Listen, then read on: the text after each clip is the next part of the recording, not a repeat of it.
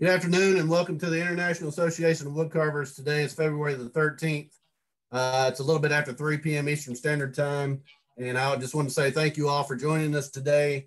Um, today we're going to have a special guest on our meeting, uh, Mr. Brian Melton. He's coming to us from Knoxville, Tennessee.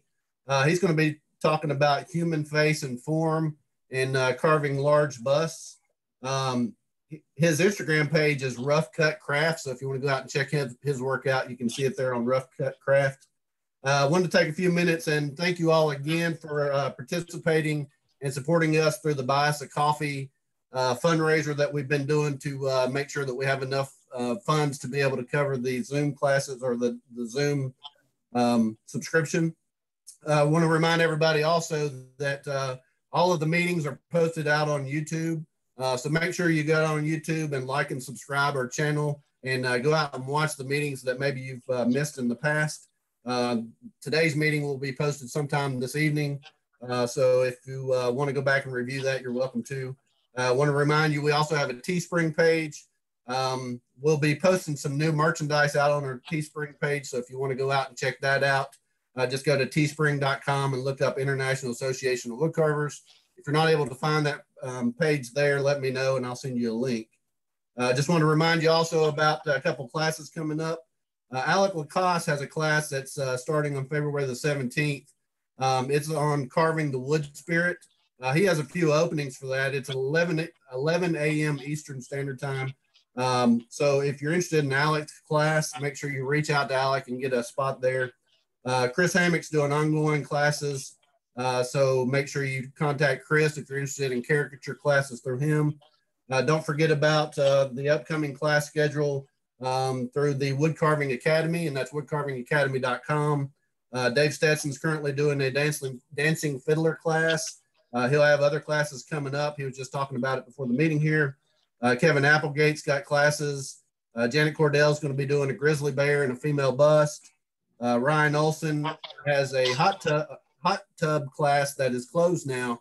Uh, we're hoping he's going to be doing some more classes coming up soon. Uh, Dwayne Gosnell has a pirate class.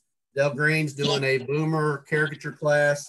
Bob Hershey is doing a surfing frog class. So uh, you can tell that there are several things that are coming up. If you want to get involved or get involved or participate in some classes, uh, make sure you go to um, check those out and reach out to those people individually so that you can sign up. Again, today we've got uh, Brian Melton on from Knoxville, Tennessee. Uh, Brian's also going to be doing a uh, giveaway during this meeting for Flex Cut. Uh, he's got a nine-piece deluxe palm set that he's giving away, as well as a slip strop that he'll be doing through Flex Cut. Uh, so we'll allow him to take care of that. Uh, and at this point, we'll go ahead and turn it over to Brian so that he can talk to us about his carving journey and about his human face and form carvings. Thanks, Brian. Well, how are you guys doing? Um, I'm used to I'm used to teaching. Let me change this over here. I'm like I said, I'm from Knoxville, Tennessee, and I'm used to teaching uh, kids. So teaching to adults, especially adults with a whole lot more experience than I have, is I'm not to lie, guys, it's super intimidating. Um, so I'm just going to walk through some different things that I've picked up along the way. Um, maybe some of that's non-traditional because I've only been in this carving game for less than two years now. I've only been carving for for less than two years, but um, I'm like I said, guys, I'm super nervous, but let's just roll with this thing. And I am. I'm going to pretend like you all are a bunch of high school students, and um, I hope that doesn't come across as insulting. I hope it just comes across as me trying to cope with my own nerves here. Um, so as as we move forward today, I want to go over just a couple things. I want to talk to you about tools. I want to talk to you about different types of wood, um, some basic form hacks, the human face and human form, and then some different places where I go to get some inspiration. I'm looking at some of the carvings that I'm seeing in the backgrounds that you all have, and um, they're pretty amazing. So, like I said, there may be things where you're like, ah, I wouldn't do it that way, or maybe you're looking at it and thinking, ah, that's uh, that's the wrong way to do it. Um, but like I said, I've I've only been doing this thing for less than two years now, so I've got a lot to learn myself. And in the Q and A time, if I don't know an answer to a question, I'm just going to look at you and tell you I don't know the answer to a question. Um, so I guess I want to start then by just talking to you about tools. I try to make do with what I've got. Now, along the way, I've been, um, the Lord has blessed me with just sponsorships from some different companies that I've gotten through Instagram that I am um, extremely thankful for. And a lot of the tools you see behind me, matter of fact, the vast majority of the tools you see behind me are, are a result of that. So um, I will be talking about FlexCut today. And the reason why I, I want to specifically highlight FlexCut 2 is that as a public school teacher, um, and coming from an area where, you know, there's, I came from a really rural area and now I'm teaching in um, Knoxville. You, you see a lot of kids, you see a lot of people that, that may not have the ability to go out and buy a $80 chisel whenever they want something from um, good companies that offer great tools like Pfeil or something like that. But they might be able to go in and afford some of the tools that that I'm looking at here. So that's one reason why I like to stick with FlexCut. They're good tools. They've worked fine for me, and they're at an economical price that people can afford. Um, so I'm just I'm just going to roll with it and start with probably my favorite type of handle. Whenever it comes down to these tools, I really love this ABS handle. They make different styles of the handle. They make them out of wood. They make them out of cherry if you get the deluxe sets. But I like this ABS handle because what I do is I turn it around backwards, um, opposite the way that it's supposed to. Of course, the metal tool is detachable from it. And I like that reverse grip because it helps me to get a little bit more digging in. Um, my favorite blade style, especially for faces and things, is a double bevel skew. I I don't know this this tool right here. I use it for everything from rounding out a cheek to even digging and contouring in certain places to point cutting in around eyes, lips. Um, that tool right there is essential. So if you're somebody that is on a budget, he said that there would be some newer folks that would be joining these meetings. If you are somebody on a budget, these are some tools that can get you in the game without too much skin. So these ABS handles, they're pretty cheap. You can even buy a three pack of them and then you can buy the individual tools. I might recommend getting a double bevel skew. That's the tool that I probably use more than anything. Another style of tool that I really love is the thumbnail gouge. So if we look at the thumbnail gouge, it rises up high on both sides and then it sweeps down low. So as I'm setting in a face here or carving, I can dig but at the same time, once I get to the side of that face, I can use that flat side like a number one and slide it through and help to even out some of that as I'm contouring back. So the skew, the thumbnail gouge, it's always nice to have something with just a moderate sweep. Anything from a five to a nine is great, just whatever your preference is. And if you don't know, kind of meet it in the middle. And and if it's all you've got, you'll learn to use it without any trouble. Um, knives, some of my favorite knives. I like this detail knife. It's got kind of a wonky handle. Now, they, um, there's been a lot of people that have been going out and they've been buying really expensive knives and things, and and they um, they're spending crazy money on these knives. But these are like 23 bucks for for these flex cut knives, and they're I'm telling you they they work just fine. Um, all of us that are carving have this stuff on our workbench. So if you are starting out and somebody's telling you, oh, you got to get Pfeil, I look at them and say, that'll be fine whenever I'm old enough that I've got that kind of money and my house is paid off, but I'm not at that point yet. So um, let me just get in the game to begin with. But that tool right there is about 23 bucks. I also love the skewed detail knife. Again, a double bevel skew, just in a very small knife. And I use this constantly for eyes and, and digging, like anything that I use the skew for is just smaller. And then I also like that style knife right there. And I think it's called a skew something, something knife. I can't remember, but if you look at that blade, you'll be able to remember it, especially if this is recorded and you can go back to it. Um, another tool that I always keep and use in its various forms is just a regular rasp one that's got the rounded side and the flat side, that thing, especially if you're just wanting to take off a, a, small amount of material, because the thing with faces is it's so complicated, is if you're an eighth of an inch off on a on a bust where your where your main head shape is only going to be I don't know, maybe like a six inch diameter or something like that, as far as the round ball before you get the jaw line in. An eighth of an inch can mean a difference in whether it looks real or whether it doesn't look real. So sometimes you just want to take off a very little bit of material. Um, fine grit sandpaper, of course, that's not that's not only for sanding and getting it smooth. Some people like that rough look, and that rough looks really pretty. But sometimes you also want to bring it in, and you want certain details to really be um, sanded down to where you can see the grain, and that grain will pop. Um, I, I don't really like to mix the two and have a mixture of the of the deep gouges with the with the pretty sanding. Um, floor pads are essential. I remember I went for my birthday and my wife she bought me these beautiful gouges one time, and it wasn't long, and I dropped one of them. It slipped out of my hands once they got tired. I don't know if you all experience the same thing, but whenever you're using a mallet in, in a large gouge and you're going for a long period of time, those hands they get tired, especially if you've hurt your hands in the past and you I've already got arthritis sitting in mine and I dropped it and it went point first down on a concrete floor. Um, and and I I was I was absolutely tore up about it. And then I just had to learn how to sharpen knives. And one thing that I used is that fine grit sandpaper. You all are going to maybe think I'm nuts for this, but you know these fine sanding pads that you can get. This one's about worn out, and I've converted it over to wood. Once you get a lot of that worn off of there, where it's got that little bit of give to it,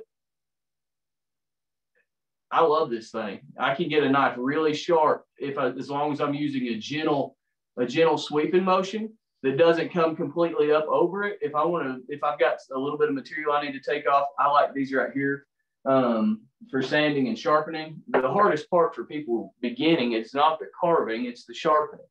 It's how do I keep my tools sharp?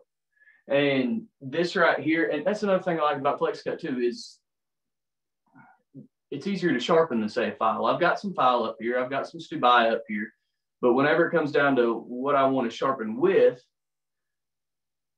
I, I prefer the flex cut tools. They're a little bit easier to sharpen. It's kind of like a difference in the old style um, Solingen tree brand Boker knives and things like that. If you get one of the old ones that's that the steel will turn black, um, you can you can sharpen that knife and they're they're more sought after. But if you get one of the new stainless steel knives, it's you can't hardly sharpen them unless you really know what you're doing.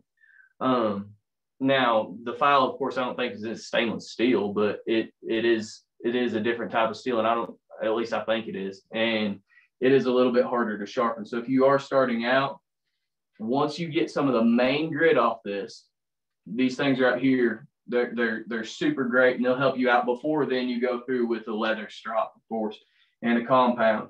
Um, this is probably my one of my favorite tools that I use constantly. It is not from FlexCut. This thing I think came from Lowe's.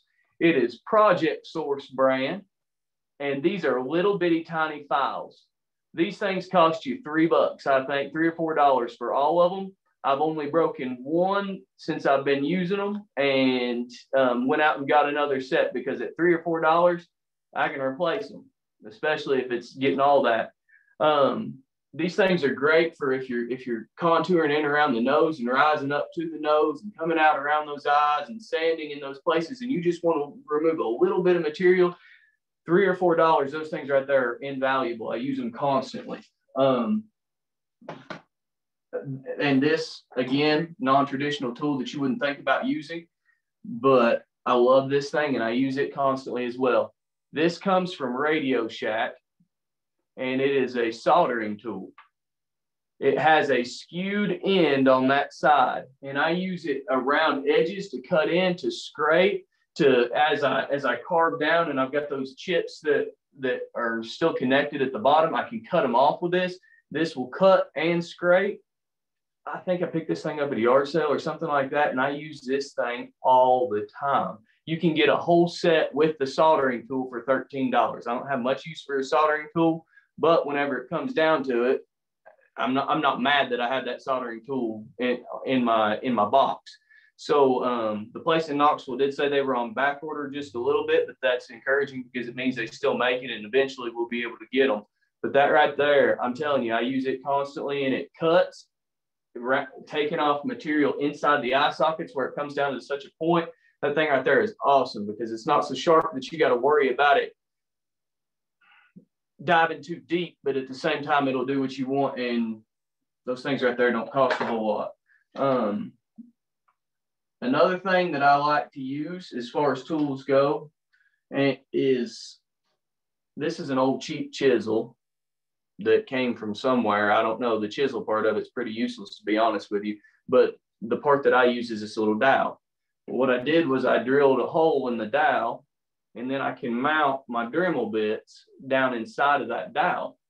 And then as I go in here to carve on a face or something, let me turn this a little bit because that's, there we go. As I go in here to, if I sit in my chair right without falling on the floor, if you were a bunch of kids, you'd be laughing at me right now. Um, as I go in here, I can, I notice sometimes with a regular Dremel, it's a bit too aggressive, but I can get in here and work it like a pencil with that base on the back and whenever I'm wanting to remove just a little bit of material, this thing right here is great. I use this thing all the time. Because like I said, a difference in an eighth of an inch to a 16th of an inch can mean the world. Um, just that little slight indentation around the mouth, if you want it to look realistic, you have to highlight that. So using something like this, I have more control than I do with something that's spinning at blue million RPMs where it might even catch and jerk on me. And I have to worry about, oh crap, I just messed up my eye socket or something like that. Or I just ran up into my into my eyebrow that I spent all that time making sure that it was carved away around it to where I could put in the the brows themselves. Um, that right there, I, I absolutely love it. And Dremel bits are pretty cheap. You can pick those up at yard sales and different things like that with without much trouble but I use that constantly. Um, but with Dremel bits, they get lost. I don't care who you are.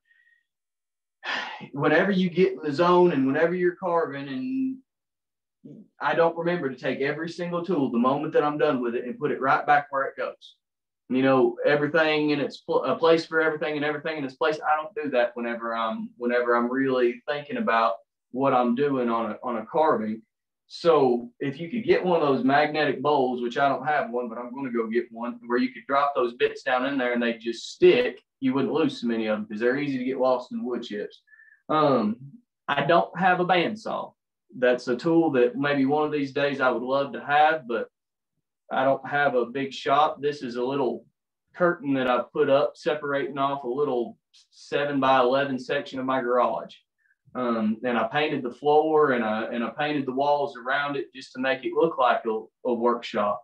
Um, but I don't have room for a bandsaw. So one thing that I do use, it takes more time, but I use a coping saw.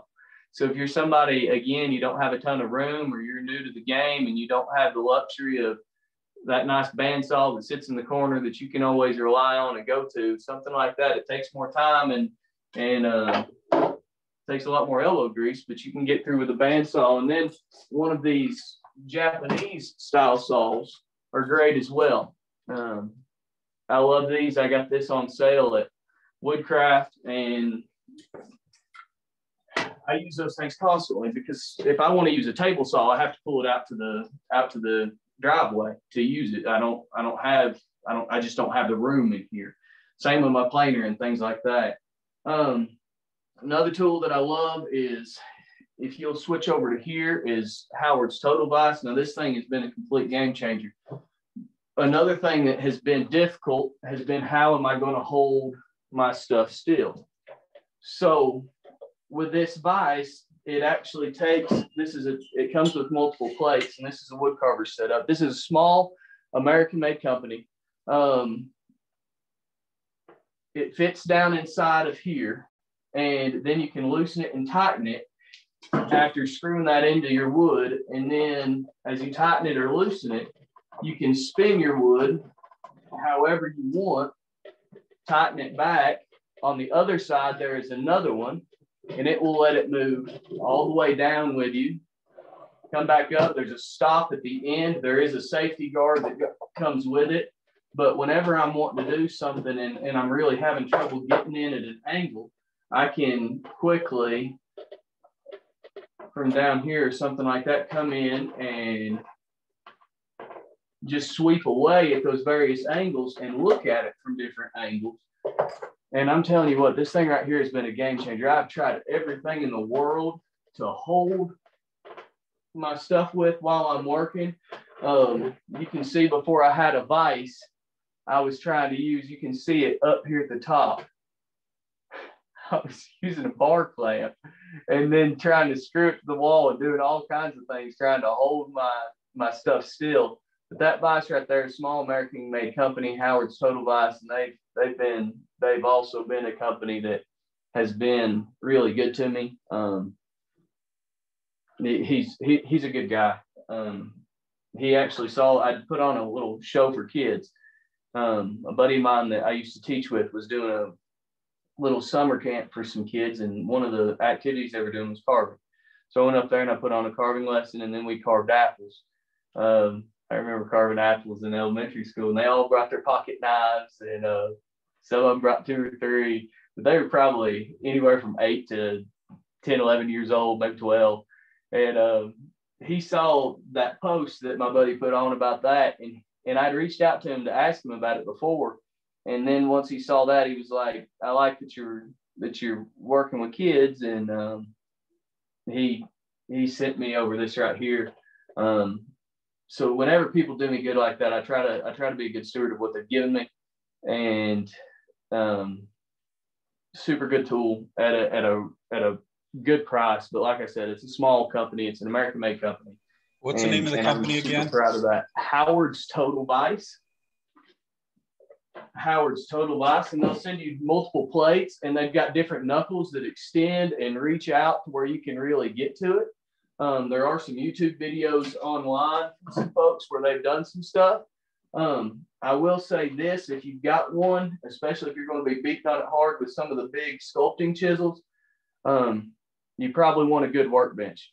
That's another thing I don't have the space luxury to have is a big sturdy workbench. So this is actually an old table, old craftsman table saw base that I've screwed a pallet on and it's sitting on that. So I do get a little bit of wiggle with it, but to be honest with you, other than just annoyance from the sound of it, it doesn't really bother me. Um, but it, is, it's a great tool. The stand that my computer is actually sitting on is a portable stand. So if I'm doing smaller projects, I can take it around if I went to like a, a craft show or something like that, because it's, it's also not real heavy. All I got to do is unscrew it and put it back on something. You, all get that. You're not wanting to tote around a bunch of stuff that weighs. You got to be good to your back eventually. I, I went for year for several years with that whole ah, I'll rest when I'm dead mentality. I actually heard that from somebody. I'll rest when I'm dead. Well, you'll rest when you can't move anymore. Um, that tends to be the case first. Um, but Howard Vise. Another thing is um, this Work Sharp sharpener. Now, I'm starting to get into money now, and I realize that, but that thing right there is pretty fantastic. Um, this is a leather stropping wheel on top. I need to I need to clean it just a little bit, but that thing right there really speeds it up. Um, I don't use the guard on it. I got used to sharpening by hand before I started using this thing. So that guard's kind of an annoyance for me because I kind of eyeball it. There's a guy of it. No. No, I'm mistaken. He's not out of Italy. He's out of. I'm sorry, I can't remember where he is from. For some reason, I want to say Portugal. Um, Julio Leal wood carver. He does this ornate, beautiful architectural carving. And I watched his videos of of him um, sharpening with stones. Now, let me tell you, he, he's a boss at it. He like like he's awesome. But I tried to mimic his style, the way that he did it, which is a little bit different than the traditional way that a lot of people will teach you. But I did. I learned how to sharpen first by hand. So using something like this after that has has been a huge time saver in it, and it just it, it's it's really nice. Um, I actually heard that that Alec Lacasse and Nate Ellerton from um, Nate's Wood Sculpting on Instagram, and of course Alec Lacasse. They're they're doing a talk about carving a human face. Is that right?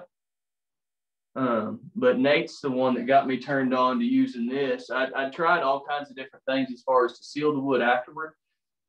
And it turns out one of my favorite things, what Nate turned me on to, and that's lacquer. So I love just the lacquer spray that I can get in there in all those type places without having to dirty up a bunch of brushes.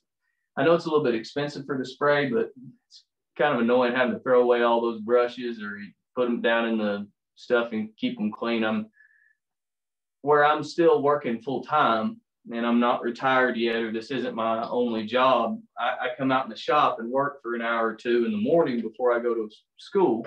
And then I come home after school and I'll put in time on Saturdays and things like that, early mornings. And, and the less time you can spend in cleanups, kind of nice.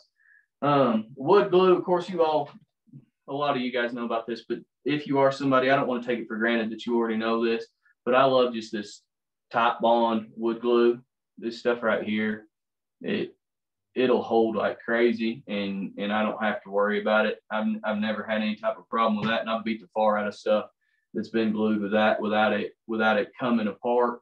Um, and then of course you can make your own mallet, especially if you're on a budget, but the, these wood is wood is good mallet. I love this thing. it just it just feels good in your hand.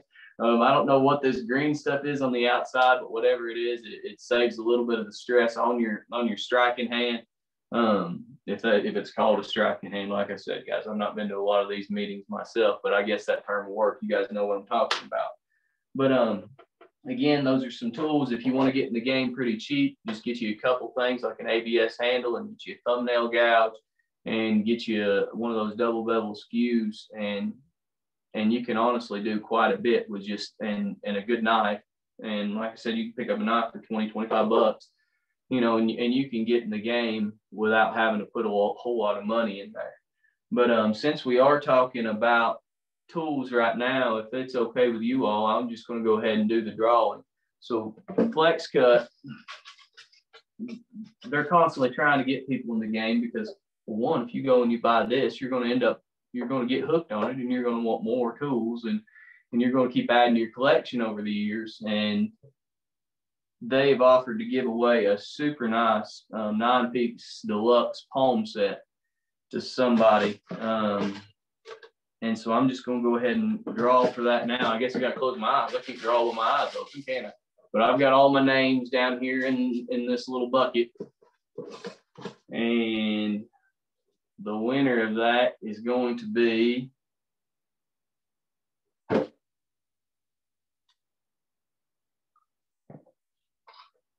don't know if you all can see that. La Fidel.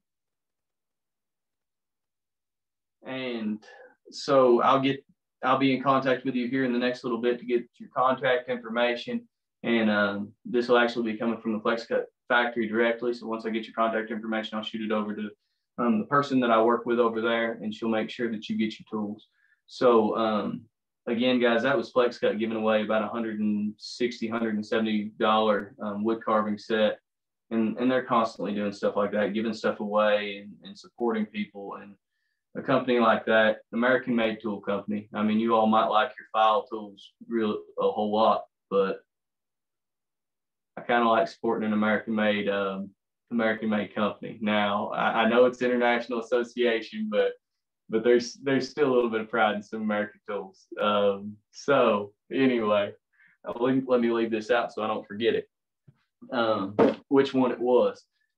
So now now that we're um, good on that, another thing that I want to talk about, and and maybe I hope it wasn't misrepresented, and if so, that was that was on that was my fault a lot of what I'm doing here today is trying to work to make um, wood carving accessible to people that maybe maybe don't have a ton of money, you know. Um, so so that's the way I centered a lot of this around. I, I teach a little sponsor a little art club there at the school, and we didn't have an art program before, so I wrote a grant to get the art supplies. So it's one of those things where I do want to make sure that kids and and young folks and older folks you know, fixed income's the same as somebody being young, you know, it's, it's, it's six of one, half dozen of the other. I want to, I want to try to get stuff in people's hands to where to where they can do this because it, it gives me a lot of enjoyment and you meet a lot of good people through it. But um, another thing that we come into as far as people on a budget goes is how do I find wood? Wood is so damn expensive. Um, and I'll be real honest with you, found wood is great wood. So lately, to prepare for this thing, I've been trying to carve the awfulest trash that I could find. And I figured if I can carve this awful trash, then then anybody can go out there in any plot of woods or something like that and they can find something.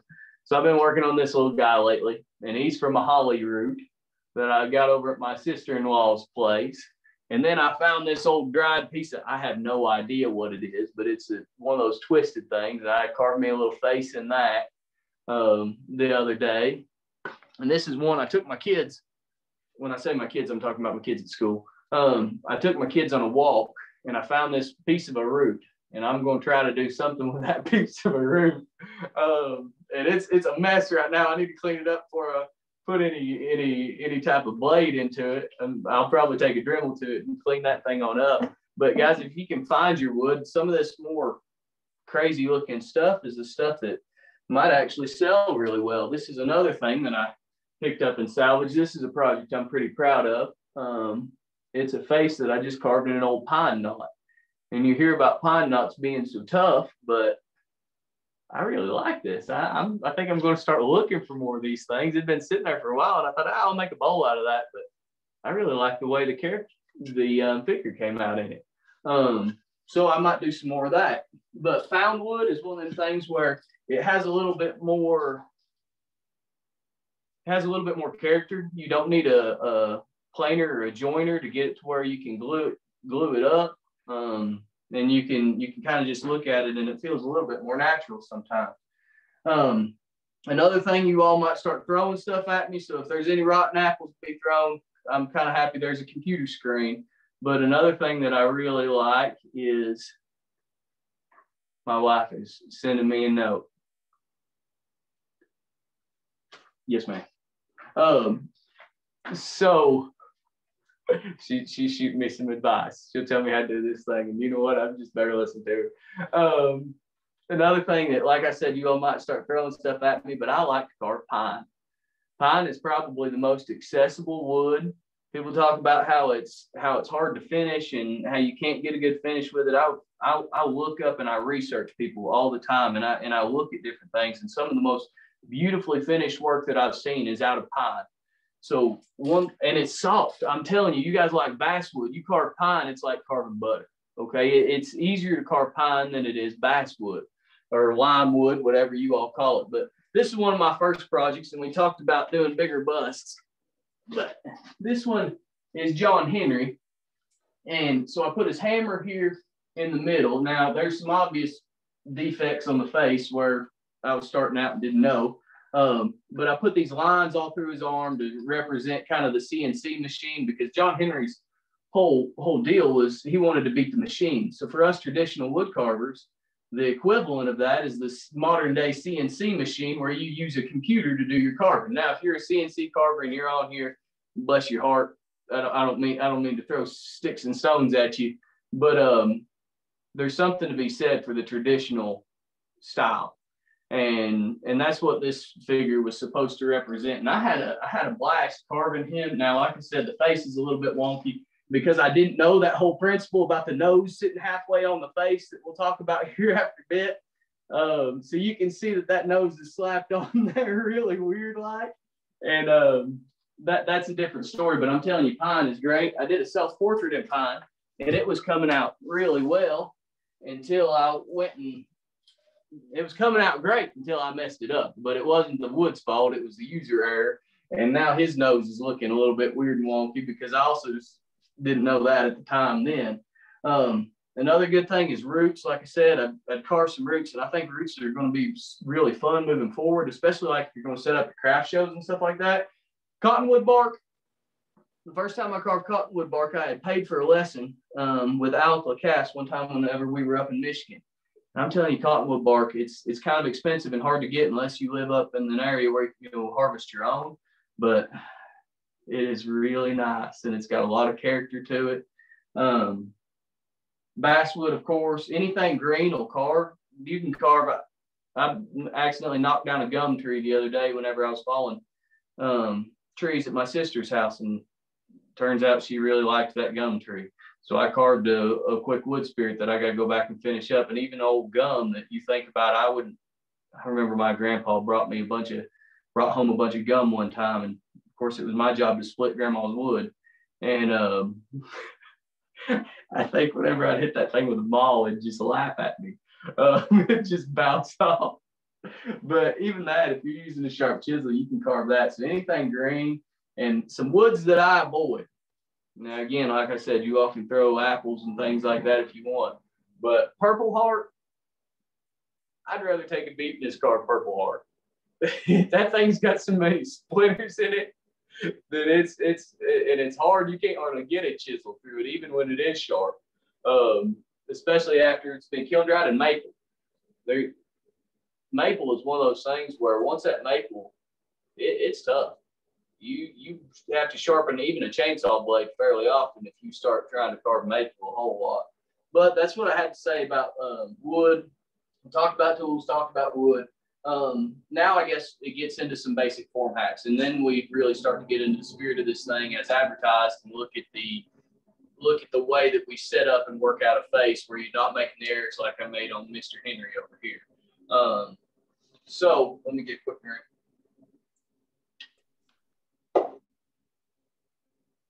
Now, this is gonna, I'm actually gonna turn, I've got two cameras here. I've got one over here and then I've got my computer screen. So I'm to show you one of my hacks real, real quick. So you can see my face here from the side. And if I turn this around, you can see it on my, if you will, um, sir, will you please switch that over to where it's showing from, well, that's fine. So just say that there's a face right here and you look up an image of a face. What you can do is take a piece of copy paper and you can lay it over the top of that computer screen and you go in a dark room and you turn your brightness up, most computer screens nowadays, um, they're not rounded like they used to be. So if if you do that right there, you can see the outline of what you're carving. You just tape that thing on there and you just trace that outline. You take a razor or a good knife and you cut around it, and then you can draw that form, the rough form, straight onto your wood. So if you're doing a shallow or bas relief carving, you can get almost perfect form without any trouble. I, or if you're doing wood burning or pyro, pyrography, uh, you, you can you can get a really great form on there where all you got to do is go back in and, and let me tell you it's it's that fast and you don't have to have some big art degree or a whole bunch of art experience to do it because all of us can trace, you know. So somebody's trying to want you're wanting to break out into commissions, one of the things that people are nuts about, me included, is is my dog.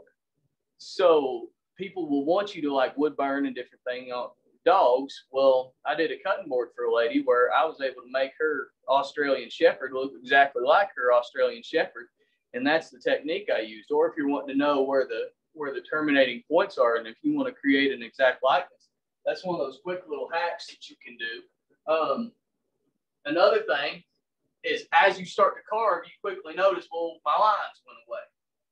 So if you're carving like straight on or something like that, and, and you're wanting that, that exact face to be in there, one thing you can do is once that paper is printed out or you've drawn that basic line drawing, like with a, like what I did with Elisa here, you know, you, you get your basic line, and this was done through that.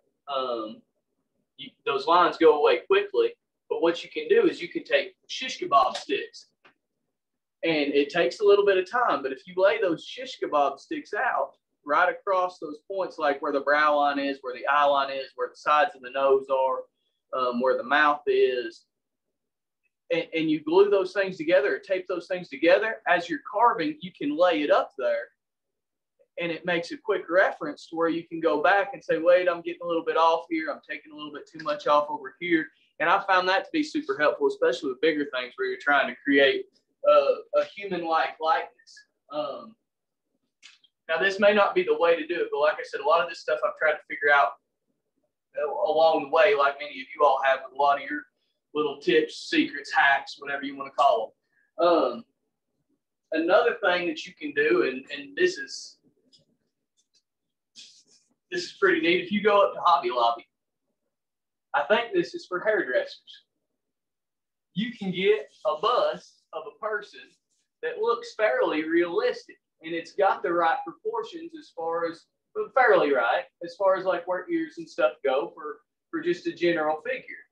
And you can use this right here to as a reference. So if you're looking at it so say i'm i want this i just turn it the same way and i'm looking at it from a different angle. And as i'm trying to get those basic planes of the head that we'll talk about later in place i can look at it from those different angles and make sure that as i'm roughing it out that i'm in line but hobby lobby bust now i will say this the one that they have of the man is pretty good. The one that they have of the woman is I, I don't know what happened here, but they somehow made her look like an alien. So maybe if you went somewhere else, you might be able to get one that's that actually. I mean, this looks great if you're looking for abstract kind of work, but I've said before, abstract kind of is kind of sucks if abstract is not your goal. Um, so uh, I don't take that for what it is. The, the one of the man, it, it's a little bit from Hobby Lobby at least is is pretty easy to use and it's super helpful. I don't know why I picked that one up because I never use it. Um,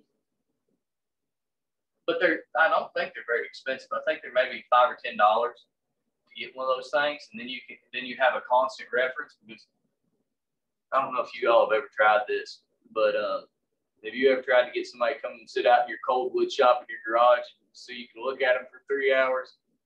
Most people aren't too excited about that. My own wife is like, Brian, there's no way I'm sitting out there in your shop so you can look at me car. but um, that, that, that is that's super helpful. Another thing that, that is, is really helpful. Say again, buddy. Another thing that's really helpful is action figures. Sometimes you can get some pretty neat action figures, and I've seen some some carvers that use action figures and kind of look at those. What do they call them? A little um. I can't remember what they call them. I, I want to say vignette, but vignette's not the right word, is it? I don't know. I, I, I can't remember. Um, they, they, a lot of people that are doing like big stuff like David Holz, um, whenever he's carving, he, he'll rough it out and he'll use a little tiny clay figure and he'll look back and forth at that rather than to have a live figure sitting in, in your garage all the time because nobody gonna come sit in your garage all the time. Um, so action figures are one of those things that you can look at too and get some basic proportions down and, and, and they're pretty neat. Um, another thing that as far as working to achieve realism in the face, and I've shown you some of my bad examples, but I don't think I've shown you my first example. Okay, so I was so proud of this guy when I got him done about a year and a half ago. All right, can you all see him? Look at that. And all that you Look at that right there. Look at that ear. Look at the way that ear's placed. Isn't that gorgeous? I was so proud of this. Man, I thought I was doing a great job. Believe it or not, different tool companies were sitting there sharing it on their page, saying it looked like me. Now, Come on. Come on, give me a little bit more credit than that, guys. It wasn't supposed to be me. Um, but you see how it, he's kind of weird and wonky and none of the proportions are right. Well, I tried to just do him from my head. And Norman Rockwell, I've, I've been on and off because I don't I don't concentrate very well. Norman Rockwell said that you need to be able to to draw or paint a person realistically from your brain before you start using references. Um, kind of like I think it's the old principle of you need to learn to hand sharpen your tools before you start using power sharpeners just to kind of get a feel for it. So most of us can't from our brain come up with stuff because our eyes play tricks on us. Um, I'm an English teacher and I see this all the time. I know I don't sound like an English teacher when I talk all the time. I don't have to use a proper register all the time. That's annoying um, and kind of pretentious sounding. But um, when it, whenever you think about an email or, or professional correspondence, and I can read my own email six times and it looks just right. And then I send it and it's got a typo in it. And I've read over those same words over and over again. But our brain will play a trick on us because our mind, our eyes will see what our mind believes is there. Does that make sense? I know that sounds kind of silly, but so we see it and we're often, our mind is manipulated because we're thinking, like for the eye, for instance, it's supposed to sit about halfway between the head. Well, we, we don't think about that, especially if you got all this mess that I have on my face and it looks like my eyes are sitting way up at the top of my head. So you'll see a lot of carvings and they'll have their eyes clear up here.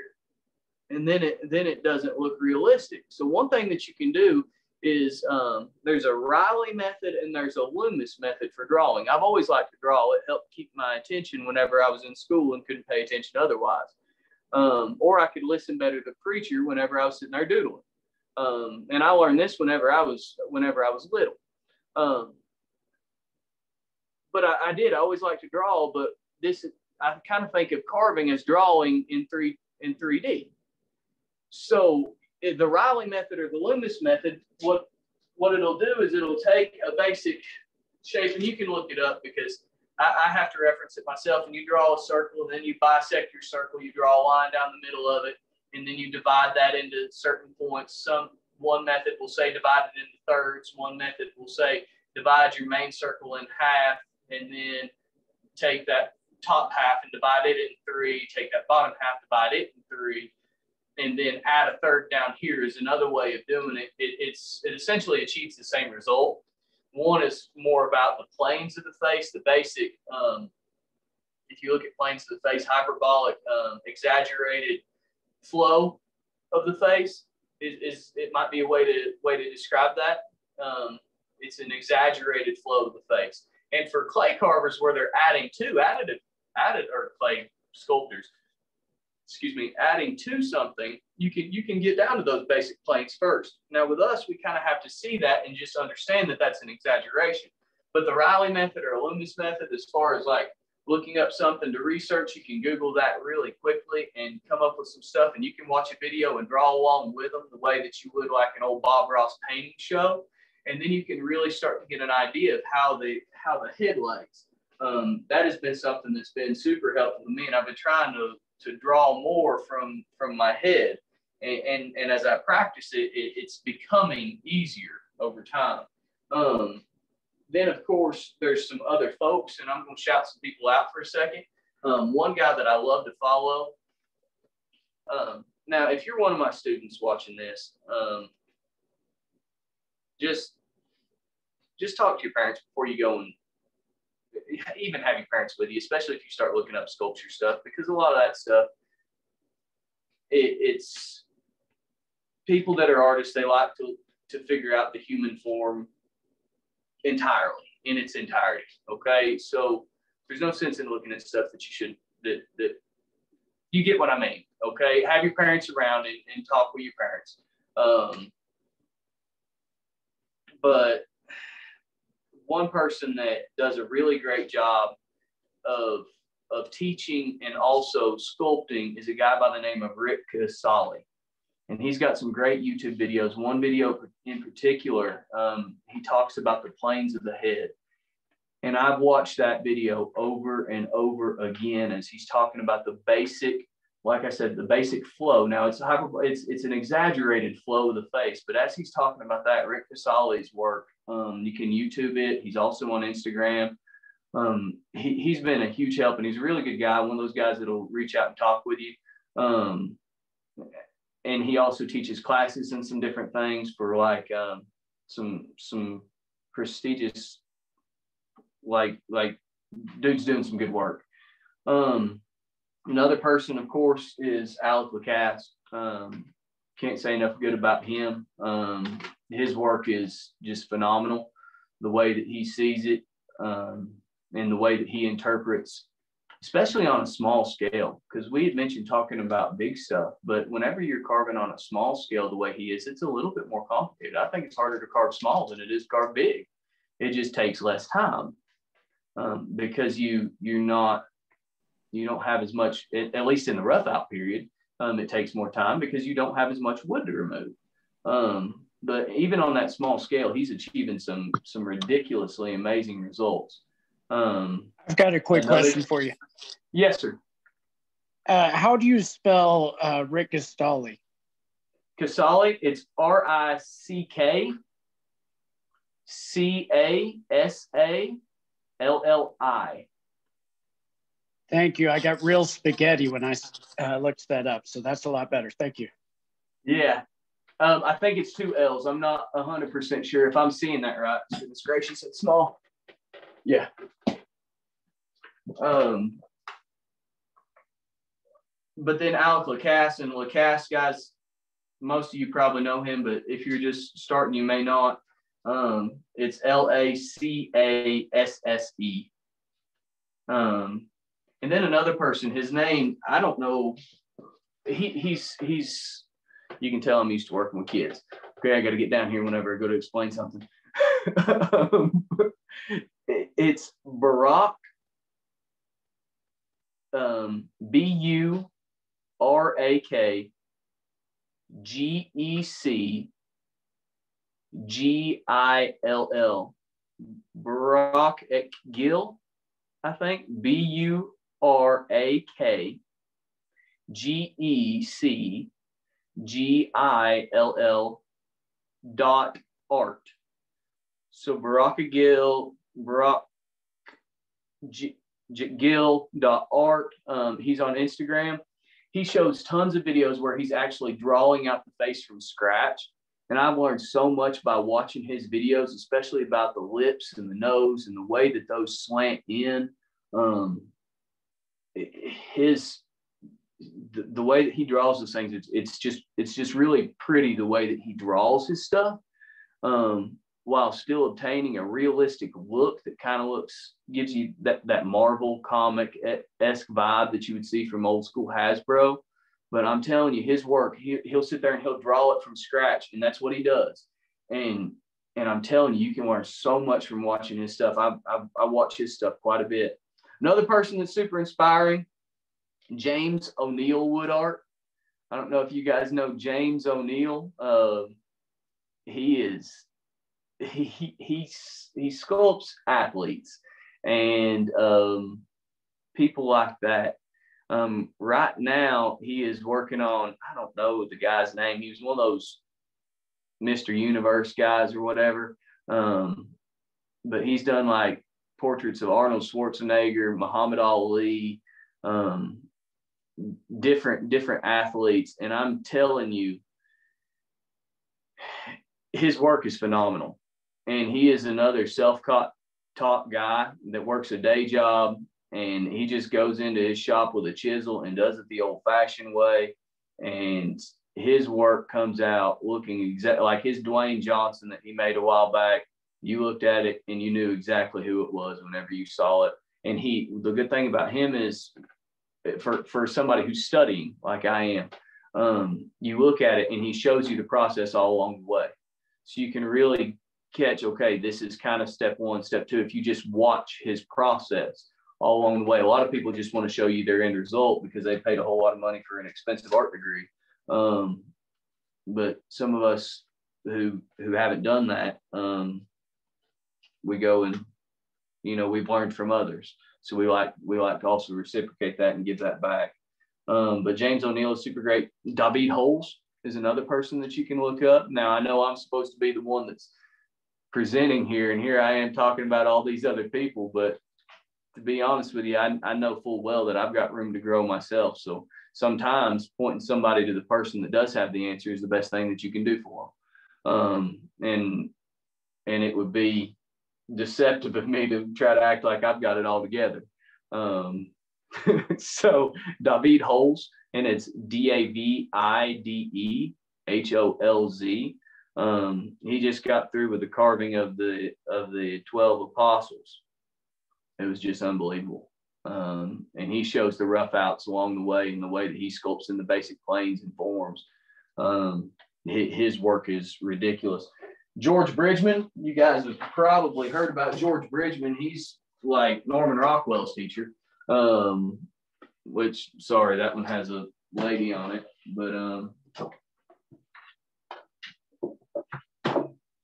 there, this one over here. Um, heads, features, and faces. Like some of these books. Now, I'll be honest with you. Like he's he's got some good concepts in here, and but his work is a little bit hard for me to follow. Um, somebody like Baruch Sigil probably got inspiration from him.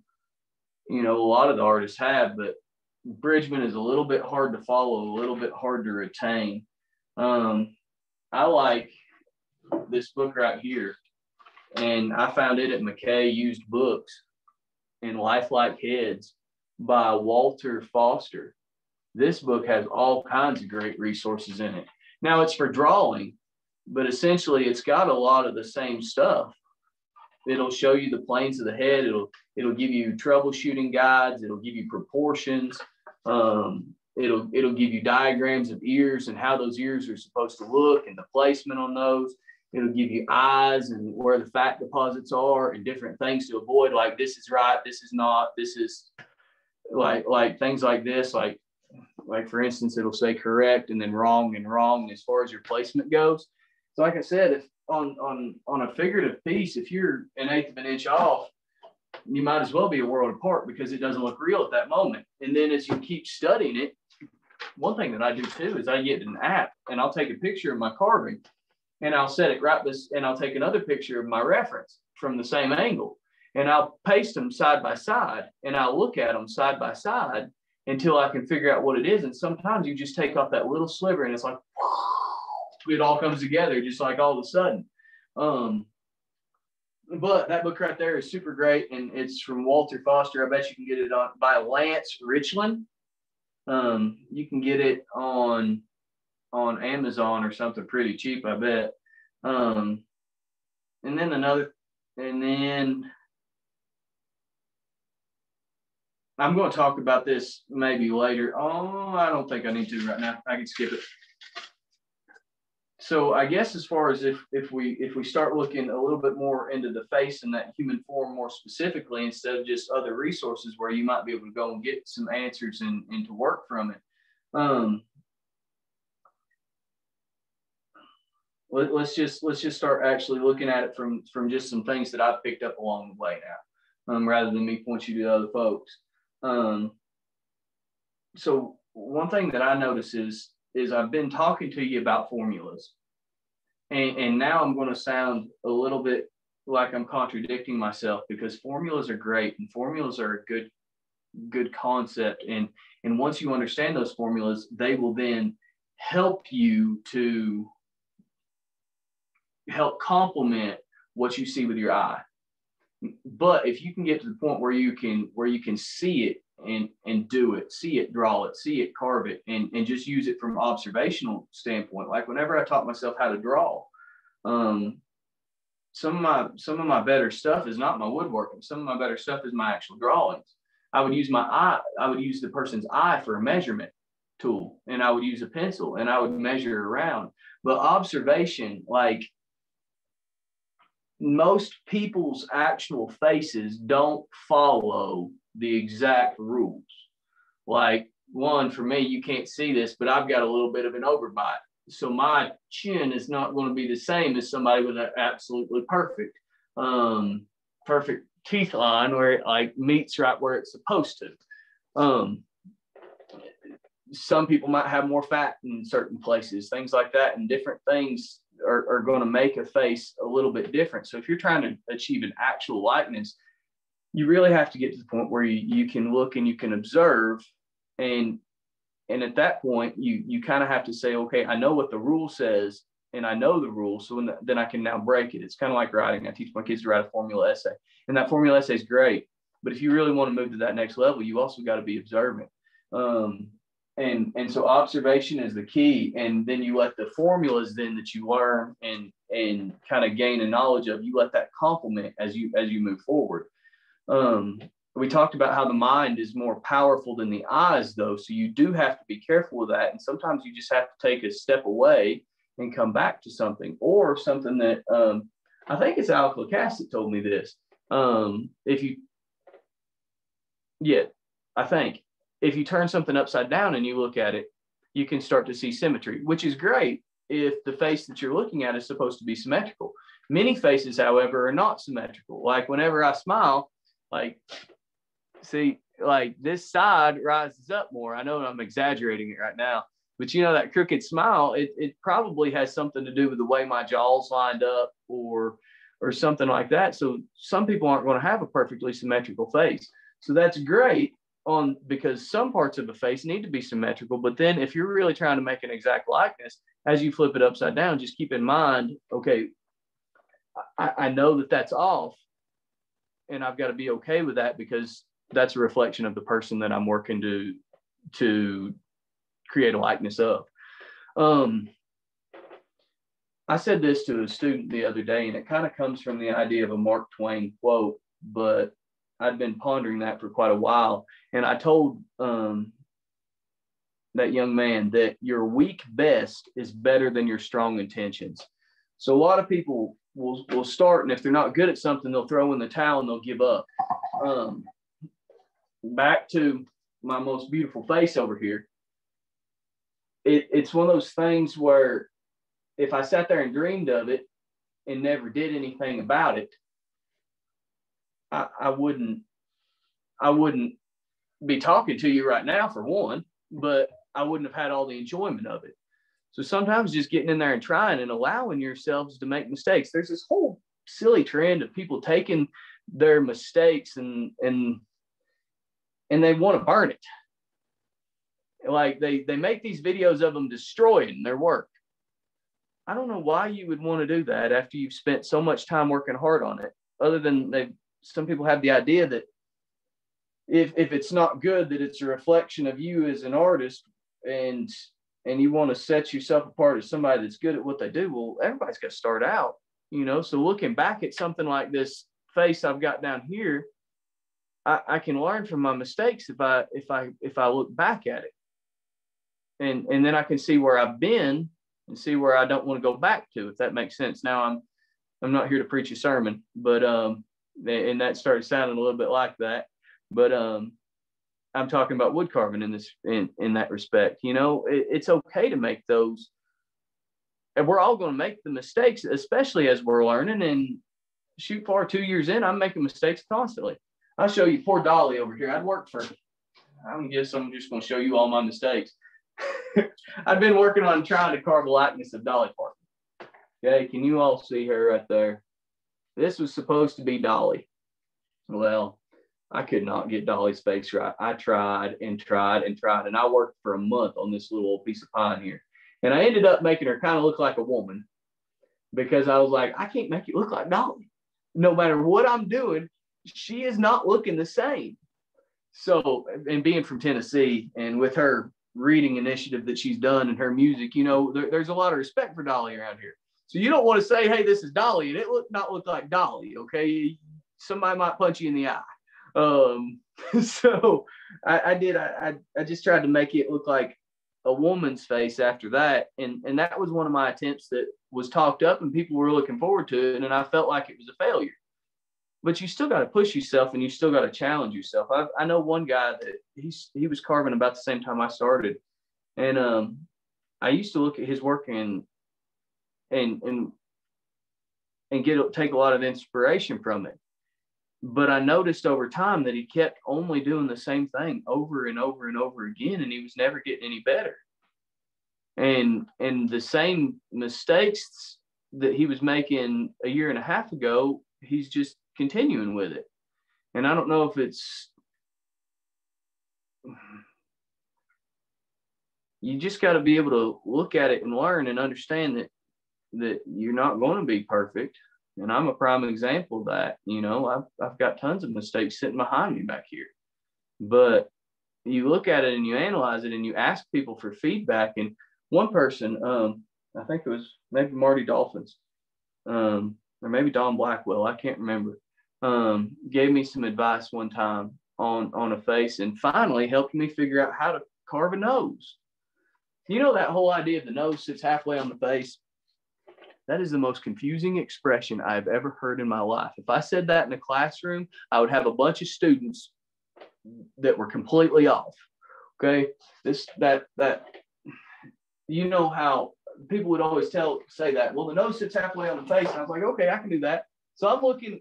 The bridge of the nose is part of the nose in my mind. So I was looking and I was like, okay, the bridge of the nose is back there. And I was thinking the bridge of the nose is back there and the front of the nose is off. I didn't think about it being the nostrils sitting back up on a wedge shaped lip and that the nostrils are sitting back on the lip line. Um, but anyway, that might be a little bit off topic. We might come something like that later on. But here I am working squatted down again. Like I said, I'm used to working with kids. Um, an, another thing that learning the basic planes of the head and those exaggerated those exaggerated forms and flow um, is, is a great compliment.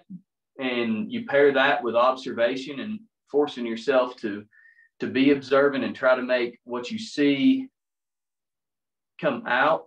Um, there's a book called drawing on the left side or right side of the brain. I, I can't remember what it is but i've heard that book's good for it. I I've never read the book, but it's kind of that same principle, I think, is what I'm getting at. Um, another thing is whenever you're carving likenesses, is that you've got a skull underneath all this pretty stuff that you see, all this, all this skin and hair and stuff like that. Um, th- there's a skull underneath there, so you're going to see where the where the skull protrudes in some places, and and understanding that is also helpful. Like once you start to carve in and, and acknowledge that there is a um, bone right here where this where the nose bone tapers back, you know, into the skull, and knowing where you're going to have indentations and where those indentations stop is also going to be something that's helpful to your carvings. Um, and a lot of the, like the Reilly method, Loomis method, etc., they they help with that. Um, another thing that I see is is as far as now, I know this sounds like a lot. Um, whenever I do trainings for other teachers and things like that on like how to write essays or how to how to help kids with disabilities or whatever it might be, um, I'm putting on a training for teachers, what I try to do is is I try to give them as many resources as I can possibly give them. Um, and, and, and I guess that's what I'm doing here. So if it if it feels like he's just dumping a bunch of stuff, that's usually that's usually my mo whenever I'm whenever I'm putting on a presentation. I just want to give you tools that you can use. Um, so I, I, hope that's okay. Um, but one thing that I've also noticed is that a lot of your your resources don't factor in um, people of non-European descent. Um, it seems like all the resources that I see are for carving either um, they're for carving white folks. Okay, so so uh, let, let, us just let's just cut to it. Um, and like my wife is Korean. I went to carve her face. If I'm gonna if I'm gonna try to carve my wife or or a portrait of somebody, I want to be able to carve people I, I want to be able to go on and I want to see a face that I think is is interesting or beautiful or whatever. And and I don't want to just be, you know, like I don't I don't want to be limited to what the old guys from the past have, have done. Um, they've done some great work and their and their forms are beautiful. And you look at things like the idyllic sculpture of David or something like that, and and that's the kind of work that people were wanting to do. But um, it is really hard to find good pictures of um, and, and good sculpting resources for for people who are not white. Um, and, and the same with women. It, it's hard to find good resources and pictures and, and things for for um, a lot of what you see is are pictures of of of men too. Um, and, and, there's a difference there. Now, I'm not going to talk about the the, the gen- generally speaking. Okay, generally speaking, of course, um, I'm not going to talk about the differences between the male and the female face here in this lesson because not because I don't want to, but to be honest, um, that's that was the main topic of discussion whenever I went and paid for a lesson with um, Lacasse. and and I and I had him kind of help me navigate through how to make a female space look like a female space, generally speaking. Okay, of course. Um, and and I paid for that lesson, and that's part of the way that that man makes his living. So I don't feel like it would be appropriate for me to go and and to give you what what he makes his living doing if if, if y'all are with me. Um, but you can look up tons of different resources on different differences between the male and the female face and and generally speaking and and kind of see how you could how you could troubleshoot along the way. Um, some resources i think this has got a little bit in it about like other ethnicities and and carving other ethnicities. Um, that's kind of nice that's in there but just keep in mind that as you are working to carve the face of, of not all your formulas that you see online are, are going to fit with the with maybe a character of someone's face um, or a characteristic i guess you could say of someone's face. Um, another thing is that there are muscles underneath the face and you're going to see those. And that's another reason why i like these dremel bits because as you see like the that rounded muscle that goes around the lips you can get in there and you can carve that in once you get it down to that basic point and you can just make a very fine indentation just to show the hint that that's there. And and that that it will take what you're doing and, and bring it to life okay? Getting in those those little features. Um there's of course fat on a face. If if we're looking generally speaking here um this does not work with asian cultures um generally like I'm going to quit saying that. You all know what I mean, okay?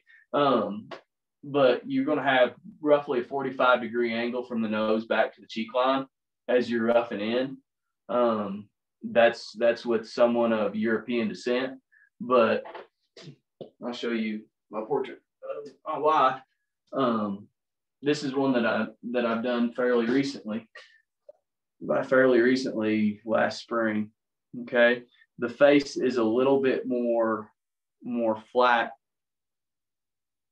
on on the front. The the side planes of the face are not as pronounced with with some um, Asian ethnicities and um, and there's some there's some others, but that's it's it's like for things like that. Like if you get commissioned to do something, you, can't necessarily just pay attention to what the formulas say. You, that's when you have to rely on observation because the formulas were not designed for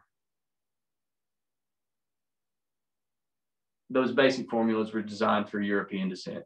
Um, so that's that's one of those things that you might keep in mind depending on depending on what you're what you're carving. Um, I've always heard that the that the um, eyes are on the center line of the head as far as top to bottom goes. Now you can't see, I'll, I'll actually show you my, where my real chin is. Um, the eyes are right there in the middle.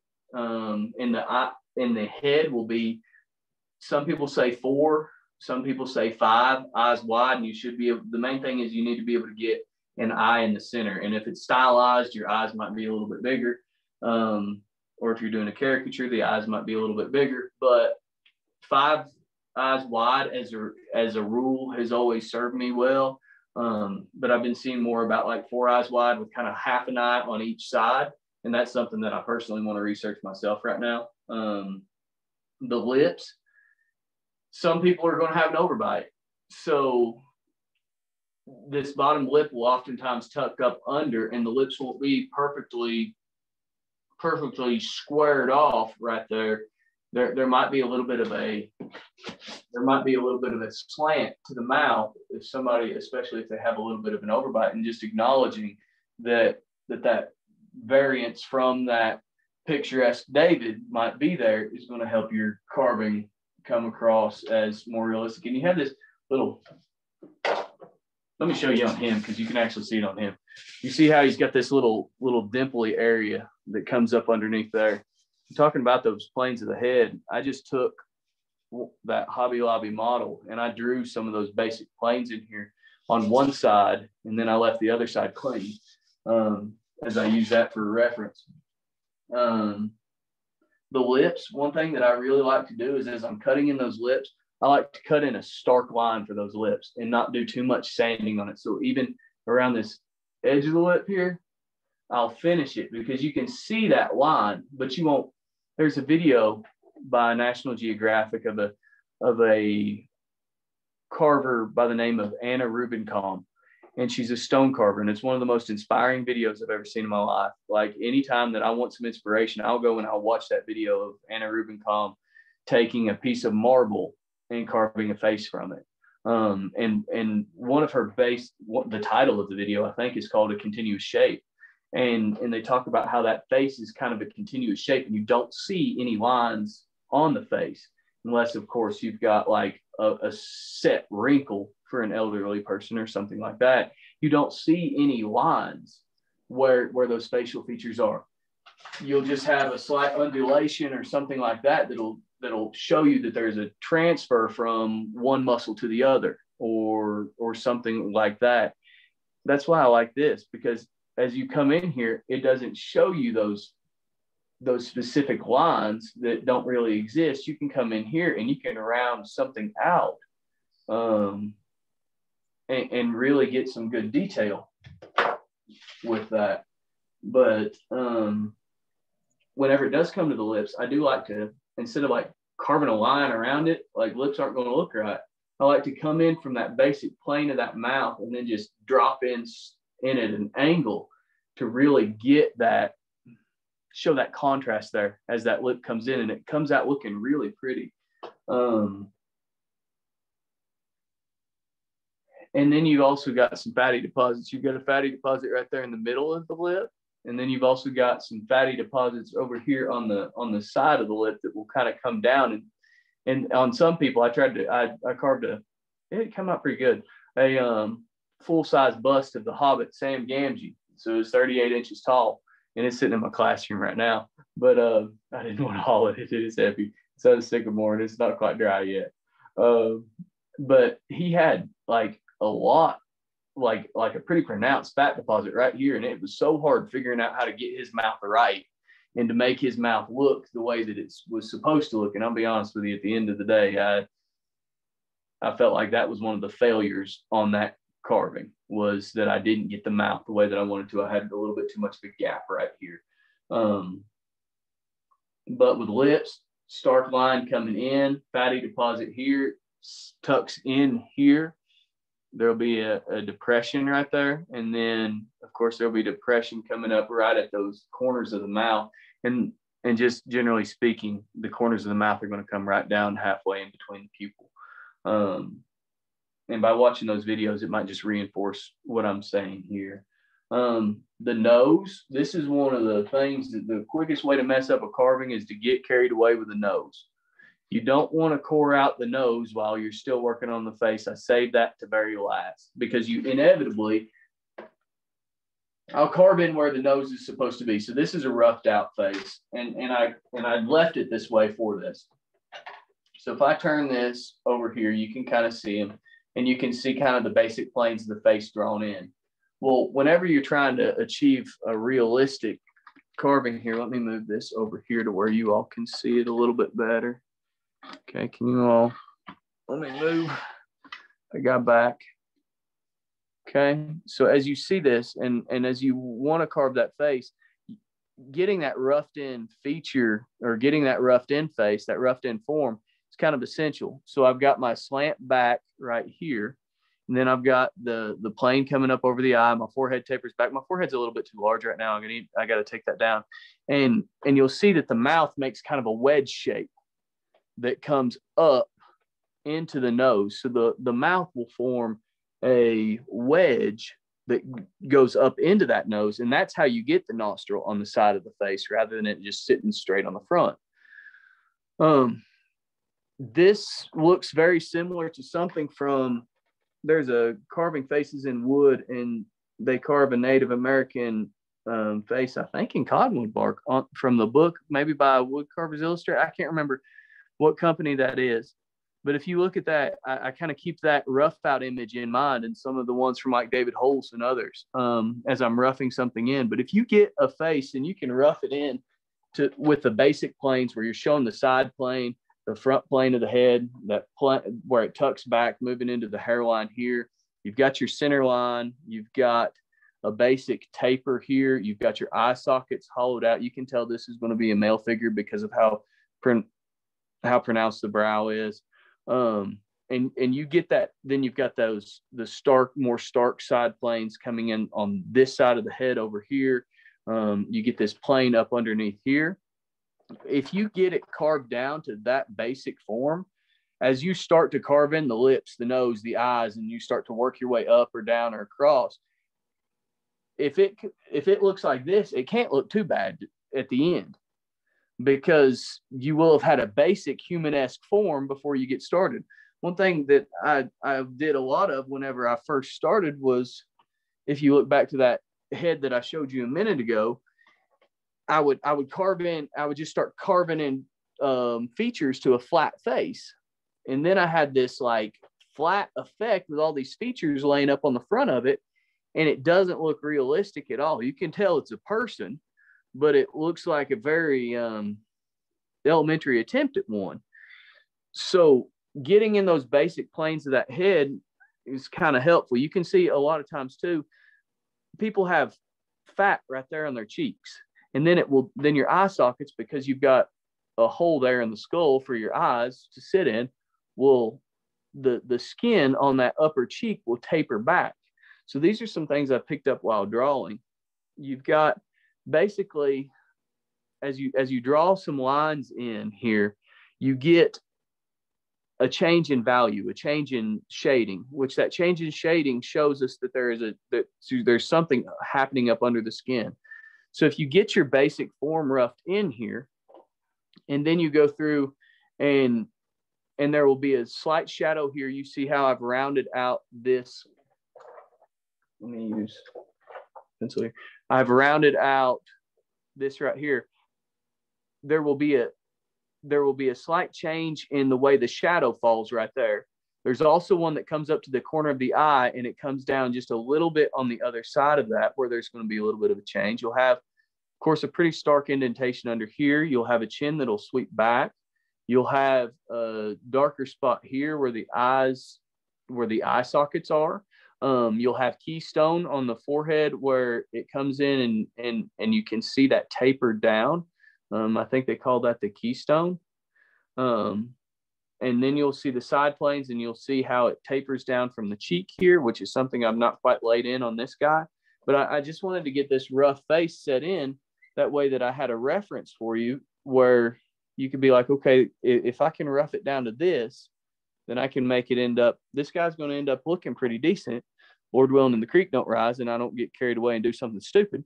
Um, he's going to end up looking pretty decent just because this stuff is set in.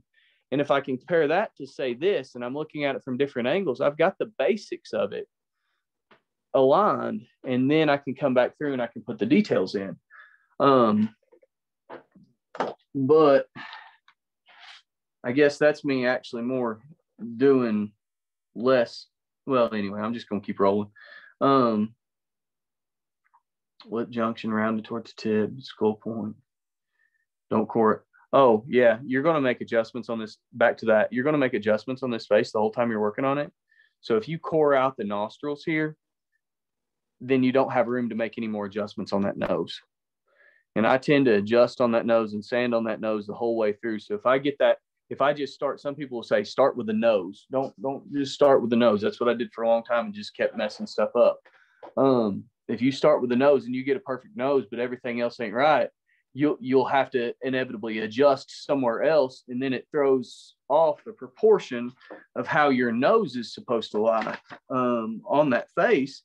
And then whenever you come back to like like for instance this right here in this book where it shows you you know the correct wrong wrong you see how much th- there's very little difference in where that eye sits in relation to the bridge of that nose but even that little amount is enough to where if you just core in this nose and you get you a perfect nose then you get over here and as you have to make an adjustment you're off so I save that the nostrils till last that way that I have the ability to make sure that all this around it's right before because once I hollow that out, I, I can't work with it much. I don't have the room to fix it. Um, if, if, I need to fix and troubleshoot later on as I, as I keep going. Um, the eye sockets, you want to sand those down before you start to carve those eyes in. Um, now, the eye, um, it's going to be sunken in a lot more here and the that eye socket actually tapers back just a little bit. It's going to be sunken in a lot more here because you're going to have a rounded eye sitting in that socket. So some people like to make super deep eye sockets, and a lot of people don't like to make their eye sockets deep enough. You kind of got to find that balance. You can always take away more later, but um, if you make an eye that's just sitting flat on there, it'll look like the eye's sunken in, and the person's going to look like a zombie. Um, a thing that I do with my eyes too, and this is small, large, whatever. Um, I don't use a V parting gouge to carve in eyes. Every time I use a V parting gouge, I, as much control as I like to think I have with a blade in my hand, it seems like every time I use a V parting gouge, even a sharp one, I slip some way. Or if I'm using a knife, it'll it'll catch a, a tough spot in the wood or something like that, and I'll continue bringing it through, and then I'll slip and cut way off over here. Um, what I like to do whenever I'm carving in those eyes is I like to point cut those in. And, and I'll start by getting my basic outline and I'll just even take the, the tip of my skew, okay, on where that eye is supposed to be. And I'm not actually going to do it right now because it's not ready. And I'll draw in my line. As I'm drawing in my eye, I want to take, I'm, I'm right hand dominant. Um, I want to draw in my left side first. That way that my hand's not getting in the way. Like if I draw in my right side first, like is natural for me, my hand's going to be getting in the way and this eye's going to look one way and this eye's going to look a different way and it doesn't come out. But I want to draw in this one over here first. And as I draw that in, I want to take this and point cut in. And if I take just the very point and I roll it around, like let me see if I can exaggerate that from down here. If I take that point and I stick it in there and then I roll it in, okay, along that line, then then I can make that nice thick eyelid. Eyelid's actually a lot thicker than people think it is. So I, I, can make that nice thick eyelid without slipping off there and, and tearing something else up. Um, the V parting gouge, I don't I don't like for that. Another little tool that I like to use whenever I'm working on eyes is Nope. This one. These two. I don't know what they are. This looks to me like about a number number two, possibly a three, and this one might be a four. And they're little bitty tiny um, palm tools that will fit in those ABS handles. Um, you can see the size. I don't know what millimeter that is. See if I can hold it up there where you can see it, but it's really small. I use those things constantly because as I point cut in, then then I can use that to scrape away and then to work to round out that eye. And then using that skew, then I can get the corners of those eyes right. Um, so if you're drawing and another good practice to have is using your eye as a measuring tool, if you want to make a likeness of somebody, kind of understand how far the eye is away from something. So the eye's this long and I put my pencil up there and I look at it and then I can hold it down here and then I can move it over here and I can use that eye as a measuring tool if I don't have something like, or if you use calipers, it'd be great to use that because then you can get it pretty exact, especially if you've got locking cal- calipers. Um, so I've talked about now tools. I've talked about, I know it's been, it's probably been a lot. Um, I've never done this before, by the way, and I and I hope that I've that I've done good by you all. Um, hey Brian, uh, about, we're actually at about an hour and a half, so uh, if we can, I want to go ahead and open it up for some questions. Uh, that's perfect sure because I was at the end of my list and trying to work it to a conclusion. well, this will be a good time to open it up for everybody. Anybody have any questions for Brian today? Probably tired. I'm probably like my kids at school thinking, mercy sakes, he worked this bell to bell. Hey, Brian. Go ahead. Yes, sir. Have you ever looked up Ruben Llanos on YouTube? No, but I will. He does very well. It's a Spanish spelling. So it's Ruben. and then Y A N Y A N I S, right? Double L. Spanish spelling, double L. L L A N O S. A-N. He's a pretty good carver, and he uh, shows you a way to lay out the eyes symmetrically.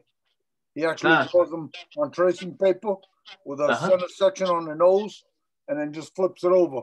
So your eye ends up exactly the same size and in the same orientation. That's pretty neat.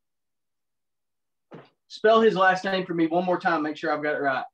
Double L A. N O S. Llanos. Llanos, thank you. I, uh, Awesome. I found it very helpful. I got Nice. a commission to carve 15 large Santa heads, and I was having a hell of a time with the eyes. I spent an entire Saturday just carving and recarving the eye Uh huh. with his video. I, I still don't really like my eyes a whole lot, but I'm working on them. I've only been at it about two years. Well, we're in the same boat then. Yeah. Um, I saw Alex Lacasse the other day had done a video on how to carve eyes, and I was looking for that. I think that's in. He may have a. He's got some type of masterclass thing that he does, and and I need to figure it out because how, how to get on there and look at some of his stuff. I've got a code for it. Um. To to do it, I just got to figure out. technology is not my. It's not my Mine strong suit Mine either. um, they had to tell me a little bit about how to do some of this stuff because we use Microsoft Teams at school. Um, but thank you for that. I appreciate it. Anybody Hey, else Brian, got another- anything for me? Another question from the chat, Brian. We've got somebody that's asking about the replacement blade from Flexcut. Uh, they're wondering if over time the blade gets loose in the handle. So on one of the replacement blade, uh, yeah. I've never had that to where it caused me a problem. Um, I can't remember. I can't remember that ever being a bother to me. Um, so I've never really paid much attention to it. And I got what got me started was at a at a wood carving show. Um, the only one I've ever been to because COVID happened, and then I've not been to any others. But um, everything got canceled. But I picked up a deluxe starter set and it had one of those ABS handles in it. And it was used before I got it. And I, I still can't tell a difference. I don't it's not like I have one that's caused me any trouble. So I mean I'm not going to say that it couldn't happen but it just hasn't been a problem for me at all with with using them And then another question from the chat. How long did it take to carve the John Henry?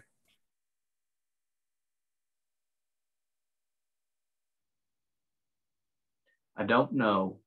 I don't keep track of my hours. Um, whenever I carved John Henry, the only thing I had was a was a chainsaw, a Lancelot, a um, by King Arthur tools. If, if you if you get one of those, be real careful with it. Um, a chainsaw, a Lancelot, a Dremel that um, was my grandfather's. And I went and bought at that show a number nine, I think a number nine. Yeah, from Stubai.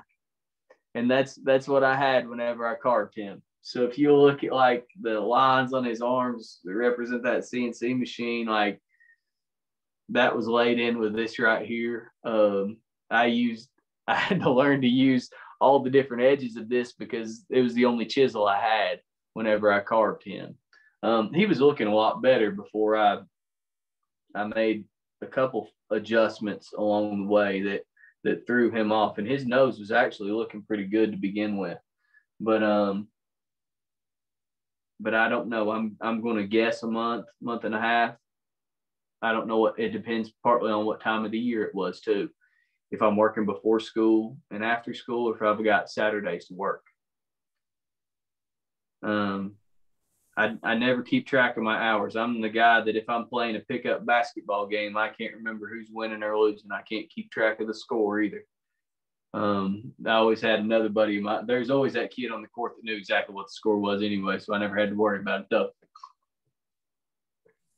And then they can uh, they can find your profile on Instagram under Rough Cut Craft. Yes. Uh, do you have a Facebook page as well? No, sir. I don't have Facebook page. Um, Okay. it, I've, I've only got Instagram. I, I don't have Twitter or anything else either. I've got some videos on YouTube. Um, if you look up Rough Cut Craft, you might find it under Flexcut too. Some of my videos. Um, I've got some videos of roughing it in and and drawing that out. There's one um, where I'm carving a, a a portrait on there that that would be a really good resource for looking at a rough out. Yeah, that's on there. Um, there's somebody else that carves like people in wood, and I'm sure you guys have seen his videos. If you looked it up, I think his name might be Tito or something. Um, but he carves like realistic portraits in in basswood, and wow, his stuff is it's pretty superb. I've looked at him carving a couple folks several times to watch the way that he does it. All right. Well, we're going to go ahead and uh, stop you there, Brian. And uh, it's 20 to 5 Eastern Standard Time now. So uh, I want to thank you again for coming on with us today. Um, you shared some great tips and resources, and we'll make sure that we reference those down in the YouTube page. Um, make sure that you go out and like and subscribe that page uh, if you haven't done it already. And um, just a few things that will be coming up uh, here on International Association of Woodcarvers. Uh, next week we'll have Lucas Cost on. He's going to be talking to us about cottonwood bark carving. Uh, I'll actually be live on location with Dwayne Gosnell on February 27th. Uh, Dwayne's going to be doing a demonstration um, on study sticks, and uh, so I'll be there with Dwayne and helping him go through that process. On uh, March the 6th, uh, Rich Embling's going to be coming back to talk about marionettes. Uh, March the 13th, Mary May of uh, Mary May's uh, Carving School of Traditional Wood Carving is going to be on. March the 20th, we'll have Janet Cordell doing a demonstration. March 27th, we'll have James Ray Miller. Uh, on April the 3rd, we're going to have Tim Crawford come on and talk to us about uh, National Wood Carvers Association and Chip Chats. Uh, and then in April, we also have Alec Lacasse that's going to be on with us doing a demonstration and Bruce and Kenny's going to be on. Uh, so we have quite a few things lined up. Uh, just make sure you tune in with us at 3 p.m. Eastern Standard Time each week on Saturday uh, for these great demonstrations. And again, go out on YouTube, like and subscribe, and uh, follow us on Facebook and um, on Instagram. I want to thank everybody for tuning in today. Again, this is the International Association of Wood Carvers, and we'll see you all next week at 3 p.m. Thank you.